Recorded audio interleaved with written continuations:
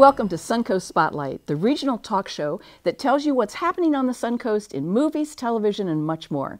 I'm your host, Jeanne Corcoran, Director of the Sarasota County Film and Entertainment Office. And this program is created and produced by Sarasota County Technical Institute, SCTI, the Sarasota County Channel, and our Film Commission. We have some great guests today Karl and Rhonda Wilson, independent filmmakers of several notable projects, who recently screened their second full length rough cut of Catching Junior Tate, a quirky action comedy shot almost entirely in our area, and Victor Young, filmmaker, mentor, entrepreneur, noted area businessman, and philanthropist, who has just finished his second full length movie here on the Suncoast as well, and we'll learn more about both of those, as well as his future plans, coming right up.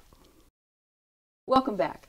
With us today are Karl and Rhonda Wilson, filmmakers, producers, directors, writers, multi talented people, and they just uh, finished the first rough cut of their second full length feature film called Catching Junior Tate. Their first was Breaking Up with Rosie. And I'm going to start it right off with saying, How does it feel to have your second one in the can, even though you're not finished with post? You must feel a great sense of accomplishment. Yes, it, it is. It's pretty amazing. Um, I think our mind we're always go go go. You know, po- both personal life and and business life. That sometimes when I actually stop and make myself think about it, it, it is it's exciting and, and pretty amazing to see what we've been able to accomplish in such a small amount of time. I see a lot of short films. I, I, meet a lot of filmmakers who do shorts and they do them as demos and they do them as sizzles. But you have jumped in with both feet doing full length projects from the beginning, really.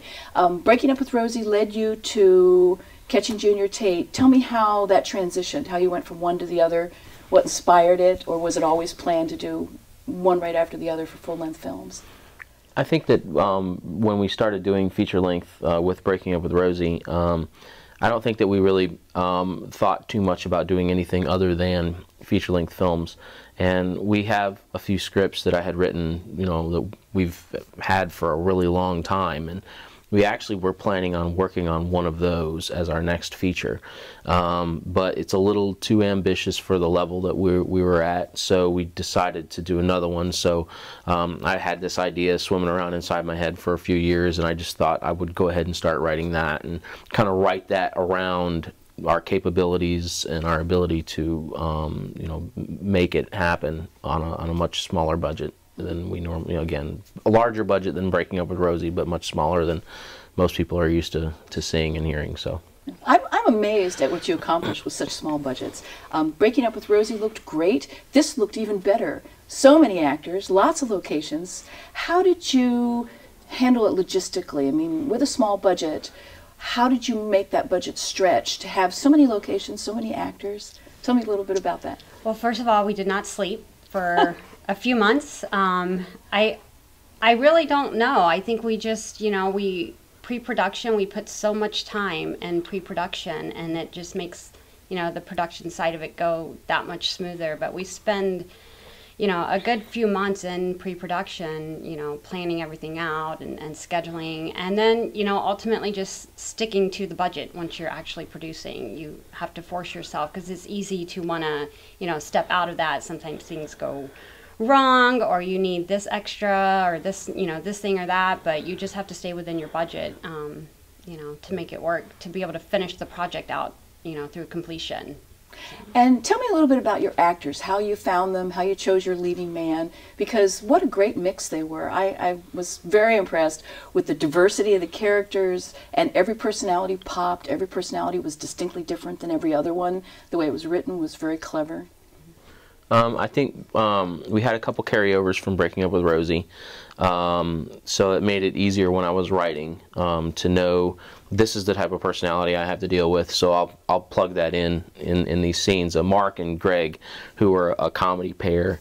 Um, in the That's film, Mark Troy. Mark Troy and Greg Burgess, who were uh, com- they were both in Breaking Up with Rosie. Um, I, I know Mark Troy had sent in when when he auditioned for Breaking Up with Rosie. He sent us his um, his reel, and we saw a couple comedic um, things that he had been in that were um, he did a great job. He showed that he had a really good um, uh, talent for comedy.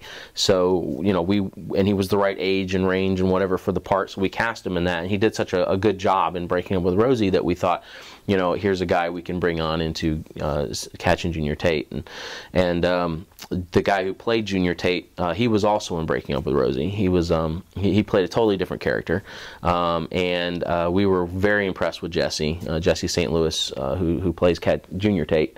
Uh, he played one of the main roles in, in Breaking Up with Rosie, and um, was very well versed, very good actor. Um, uh, he he at the time wasn't SAG yet. He was um, he was Equity, and so um, I really like working with equity actors um, because you know, or people who have a lot of experience in theater because you know that they're they're used to memorizing the whole script and they're used to memorizing their blocking, and so um, you know that they're going to show up prepared. So and they're not going to trip over the scenery either. Yeah, they're not going to require 27 takes because they didn't learn their lines. Right, right, exactly. Yes, I've always so. found theater actors are uh, sometimes they're too big for the screen. Theater actors are very talented, over but the sometimes top. they can't yeah. dial it down and be intimate with a camera. Did you struggle with that at all?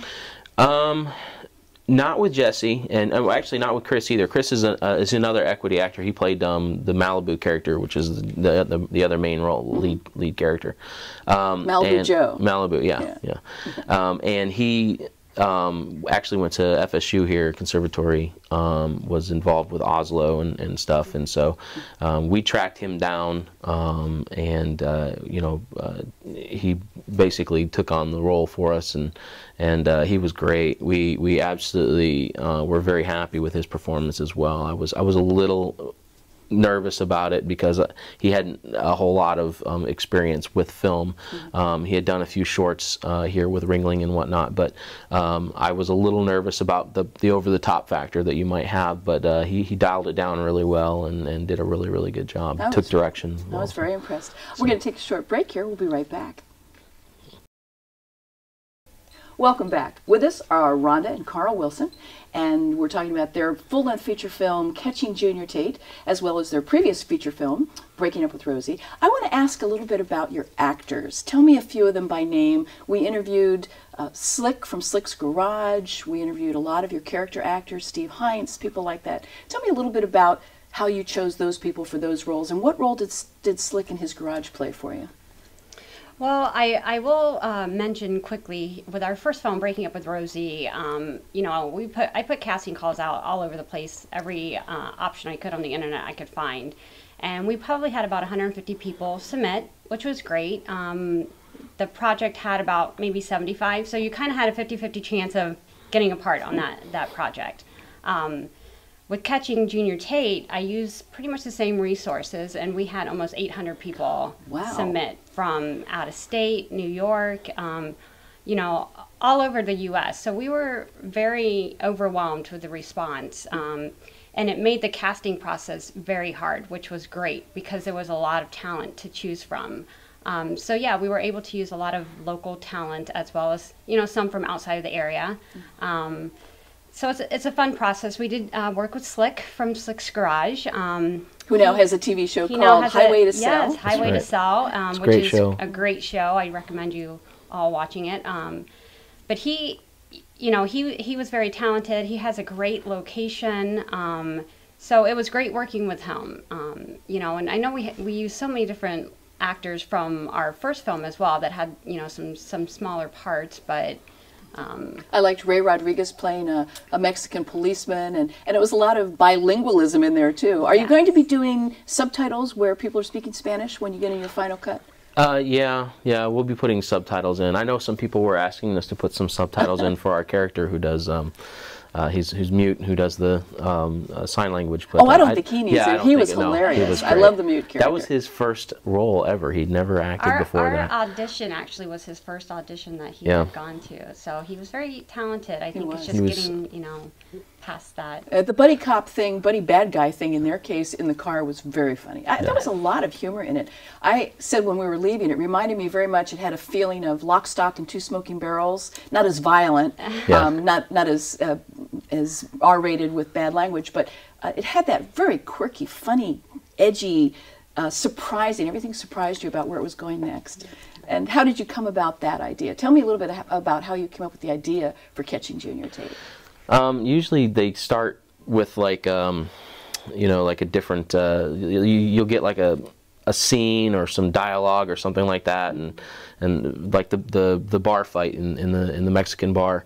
Um, that's kind of the dialogue where you get the idea and you think that would be a funny scene, and then usually I, I go there and I and I, I kind of expand out from there. Um, I you know just had some ideas for some things. Uh, usually it's like uh, I have a, a, a, buddy of mine, and I think man he would be really good for this role, and even though he wasn't even in the film, mm-hmm. you know you kind of start writing with that idea, and then um, you go from there. Um, but yeah, I definitely wanted to to make the characters as diverse as possible. I really wanted to create a lot of, um, you know, uh, you know, variety for well, you, what you, you would see. achieved it. You so. really did. So tell me, um, where do you go from here? What's next for you? What's on your timeline? Well, we've just started uh, the film festival submission process, so we're, you know, it's kind of a wait and see how, how that goes. We're hopeful. Um, we're going to submit to more than we did with our first project. Um, our first project, we did submit to a few. We ended up getting in uh, the Gasparilla International Film Festival here in Ybor City. Um, you know, so this time around, we're going to expand our, our submission process a little more and kind of see how that goes. Um, hopefully, it'll lead to finding a distribution for it, and you know, we'll just kind of like I said, wait and see how it goes. And do you have another project in the pipeline? Do you have another film you're going to be working on, or are you going to devote all the next six months to a year to making Catching Junior Tate your your focus? I think um, I think we'll, we definitely have uh, once we kind of tighten up um, Catching Junior Tate.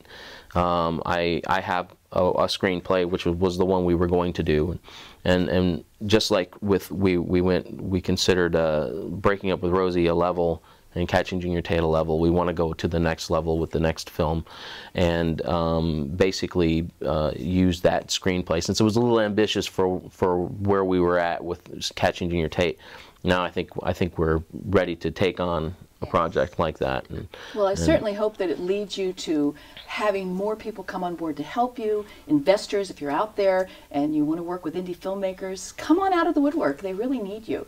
And I hope that you get a continually growing team, and yet all these great people you've been wor working with, I hope that they stay with you for the long run, and everyone grows, everyone succeeds. Yes. And yeah. tell me if you had one goal for catching Junior Tate ultimately, where would it be? What would it be? Netflix, Hulu, big screen. It would be screens? great to see it on the big screen. You know, it, it definitely has that indie feel to it, but it, it's funny. Um, you know, we had sent a survey out after the screening that we did and got great feedback. Um, and, you know, Karl's clearly a very talented writer. Um, I think that's the biggest part. You've got to start with a great script, and he's a, a great writer. And, you know, I yeah, it would be great to see it on the big screen for sure. So. Well, I hope it makes it there for you. I want to thank you both so much for being with us. Thank you for spending time on Suncoast Spotlight, and we'll be looking for your future successes. Thank Karl you. and Rhonda Wilson. Thank you. Thank you. Welcome back. With us now is Victor Young, filmmaker, mentor, entrepreneur, noted area businessman, philanthropist, many, many hats. And he has just wrapped up his second full length feature film shot extensively here on the Suncoast. So, Victor, you just finished Stratosphere. Yes. Full length feature film, drama, action drama, human dynamic of, of people who get in trouble and circumstances that take them where they don't want to be. Where is it now? Is it in post? It is in post. Mm -hmm. um, you know, a, a, great film. It, um, it, it it uh, really evolved based upon a, a, interesting group of actors. You know, it started off as as one character who was designed to be this very hated character and this bad person, and and uh, you know Joel King did such a fantastic job portraying the character of Jason that uh, changed the feel of the film a, film a little bit. He ended up being this really nice, likable guy who just made bad decisions. So uh, we had to come back and create a little bit more dialogue to fill that in. But yes, uh, fantastic film shot here in Sarasota primarily. Um, Which we um, so appreciate. Sarasota yes. County is, is just eager to have indie filmmaking, and we think you're, you know, you're one of our local indie filmmaking stars with world class talent, world class goals. So thank you. We love shooting here in Sarasota. Um, we we originally um, had had met, had scheduled to shoot in another city, and um, things just weren't going as smooth as we wanted them to go. And at the last minute, obviously, we, we said, hey, let's look at Sarasota. And I'd just like to thank you and your team for responding and just doing a fantastic job on a very short time frame of being able to uh, uh, meet our demands with locations and, and uh, uh, everything else you guys permits and just everything that you push through the pipe for us. And uh, it made it made us uh, want to shoot here. It mm-hmm. excited everyone and, and just uh, energized everyone to shoot here in Sarasota. So it was interesting to see. Whew.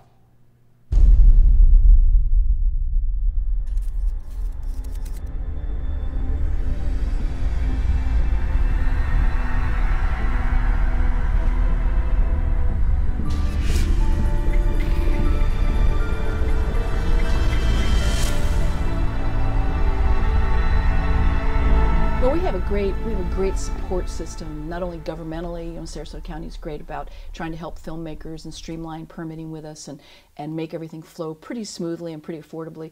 But we also have great private sector businesses that really work. I, you used bentley's hotel Absolutely. down in the osprey area and from what i understand they couldn't have been more helpful couldn't have been more cooperative. Bentley's was uh, oh my gosh it, it, was a great location. We were able to pick up uh, five locations wow that's a uh, lot. From, one, one property, which we, we needed because it was a multiple locations uh, shoot. Um, and literally, we, we, you know, we were probably in 14 different locations. So it was it was good to, to be on one location for a while and let the cast and crew relax, you know, from all the mobilizations and uh, uh, and, and, and reassignments. It, it, was it was definitely uh, like taking a breather and allowing everyone to maximize their talent and their skills at that time at Bentley. So we needed that. Yeah. Sure, and they have you know they have so many naturally uh, useful. Uh, elements there from food and, and restaurants to hotel rooms to the tiki bar yeah. to the yeah. tiki huts and so forth. It's, absolutely, the, and the production value was high. Yes. So you know we didn't have to do a lot of set design, so that that also made our jobs a lot easier as well. So. Mm -hmm perfect location. Well, I enjoyed the premiere you did of the trailer recently. We have some clips of it that we'll be showing, and that seemed to be uh, a great cast that you assembled. They all seem to have a sense of family now. Did did you see that on set? Did they all bond well and? Most definitely. We we had a mix of uh, of talent um, as far as cast and crew. Mm -hmm. And uh, so you were able to see some of the less experienced actors uh, really step their game up and work closely with some of the more experienced act experienced actors. Mm -hmm. uh, it was an interesting dynamic to watch, and uh, so we definitely got the most out of our newer people based upon that relationship and that dynamic. Um, and same thing with crew. I mean, there were some very experienced individuals on on crew um, who really slowed down a little bit and was able to maximize what our interns and some of our newer people brought to the table. So it was a, a great dynamic and they also stayed in touch. So it's it's interesting because at the wrap party we were able to see, you know, it wasn't like reconnecting everyone. Everyone had, you know, already made these relationships. Stayed uh, together. Yeah, they stayed together. So it was it was interesting. Tell how um, you and Erica Sutherland came to know one another, and a little bit about how you mentored her through this process because she is her background is primarily theater. Correct. She teaches and so forth, and um, Tell me that transition, How? Erica, Erica and I met uh, in 2010. Um, I was shooting a television pilot, and uh, she came on board as uh, as a first AD, um, and uh, it was a very interesting television pilot. Uh, it was it was supernatural based, mm -hmm. and. Um, which I understand the History Channel has tried to talk you out of a couple times. absolutely, absolutely. I just we just need them to get a little bit more uh, convincing. Mm -hmm. but, um, so we worked together on that project, and it was a had a lot of challenges. I mean, when you're working in a an environment that's actually you're trying to cap capture these supernatural experiences, there is no take two, or there's no hey, can we re-roll that, or you know, change the light and let's do it again. So uh, it was a very summon, summon, summon that uh, that entity back and let's do that one more time. yeah, exactly. So um, you know, based upon her ability to uh, really um, adapt in that environment, uh, I knew we'd, we work together again. And so we stayed in touch over, over time and actually um, started working on uh, writing Stratosphere together.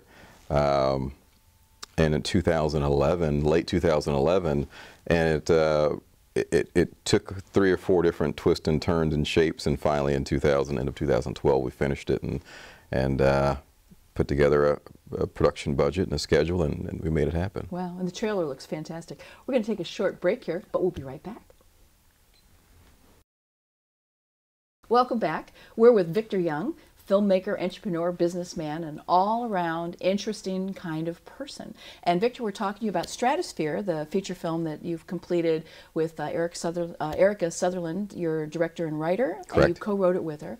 But I want to ask you a little bit about another project that you just wrapped up as well, another feature film, full length, independent. Um, tell me a little bit about Paradise, Florida, if you can. Paradise, Florida, uh, completely different project. Um, it's more of a coming of age drama. And uh, it was written by a young man here named Tony Stopperin. And uh, Tony and I met uh, a few years back on the, on the set of uh, Lucky Six. Sure.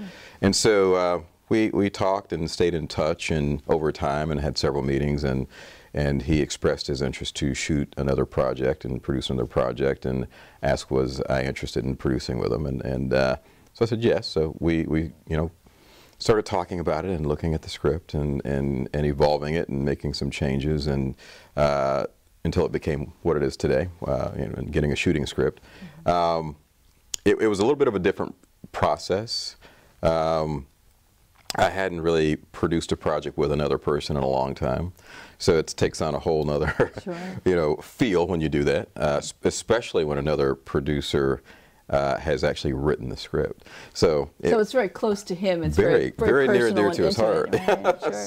So it, it was interesting. It was it was kind of nice, um, uh, but it did just create a completely different dynamic when you're when you're working from someone else's heart, and I'm working from a budget and a timeline. but we actually worked together well. Mm-hmm. Um, the film was shot. Uh, on red, and uh, it looks beautiful. Uh, great locations. Again, you know, Missy Malloy, who works with the Film Commission here in Right, one of our Sarasota. freelance location specialists. got it. She's Just done a lot of projects. got us some great locations here and, and uh, um, you know, really work with a great crew, work with a lot of Ringling students and, and ex-Ringling students, or prior Ringling students who graduated, um, who also did a fantastic job. And uh, so once again, we had some crew that was more experienced, who'd been in the business for a while, and some really, you know, new cast and crew as well. That's great. I mean, a lot of mentorship going on. And A lot Absolutely. training. I, I remember when I spoke with Erica Sutherland at the premiere of your trailer, she was talking about how you truly mentored her through her process of doing a full-length feature. And you mentioned then too that sometimes there's a conflict between the business side and the creative side. Absolutely. Does that happen in? I, mean, I assume it happens in all of every every project it always happens um, you know there are scenes that are that are beautiful that are just cinematic or touching and then you look at it and it's like okay what film is that for Why did you shoot that? so it's now it's time to pull it you know um, to get either time down or or continuity or, or you know even you know and you never want to write for commercial reasons. I, I feel you, you always want to make it, you know, an artistic expression to be able to tell a story beautifully. And, and uh, however, sometimes when you're thinking about what's being sold and you're looking at the rags every day and, and you're seeing what, what distributors are buying and you see what networks are looking for, you kind of want to make sure you have some of those elements in, in your story so that it's, it's, it's a retail story unless you're actually shooting it for film festivals and to be able to express yourself and using it for a calling card. Right. Still, at some point, you know, it has to be a professional product that you can monetize Absolutely. so you can make your next product. Uh, tell me a little bit about your background. Uh, surprising to many people because you are such a uh, very successful and very well known entrepreneur and businessman in our business community. A lot of people don't realize you've been in show business for a long time. Absolutely. Since you Um, were just a toddler, yeah. practically, just since you were very young. Yeah. I started started my, my career at a Fox affiliate. Um, worked in master control, production, was a switcher, puller, did voice work. Um, you know, left there, uh, actually produced a sports show, left there, went to Sports Radio 910, produced a morning show for Scott Brantley and Bob Yuko. Um, again, did a lot of voice work there. Then got my own show on air at a uh, basically a pop station. Uh, I was on air personality, and then left there and went to an urban station as uh, as a morning host on air. So um, you know, from production to voice to you know uh, switching and running camera equipment. Uh, I even did a lot of acting at the time. And then the interesting part was uh, I also had a background in, in, in wrestling. And- Professional and wrestling. Professional wrestling.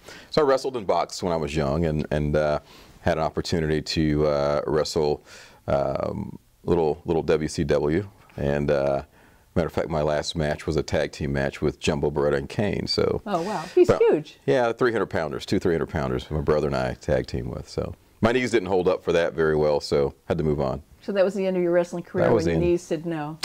That was the end of my wrestling career. You know, one of the things I did take away from wrestling was the fact that you had to have the ability to connect with an audience in a very short period of time. So there were three different types of guys in wrestling. There was a face, a heel, and a neutral guy.